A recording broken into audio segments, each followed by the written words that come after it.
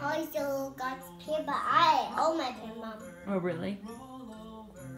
I guess he wanted to work on his toast.